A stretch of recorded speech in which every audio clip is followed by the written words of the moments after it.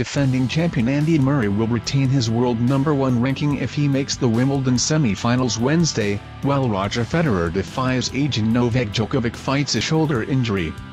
Adding extra spice to Wednesday's drama is a growing concern over the state of the All England club's famed centre court where, according to Djokovic, a hole has developed. Of five men over 30 in the last eight, faces big serving Sam Querrey bidding to make his eighth Wimbledon semi-final in the last nine years.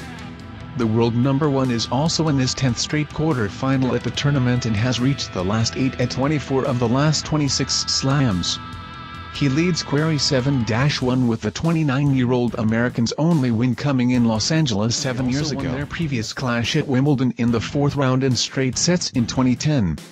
But the two-time champion won't underestimate the player who knocked out Djokovic in the third round 12 months ago. Sam likes the conditions here. Obviously a big serve. Goes for his shots. Very aggressive player, said Murray who has made the last eight despite lingering worries over a hip injury on the baseline, hitting forehands, dictating, he's a very dangerous player, Querrey made the quarter-finals in 2016 where he lost in four sets to eventual runner-up Milos Raonic.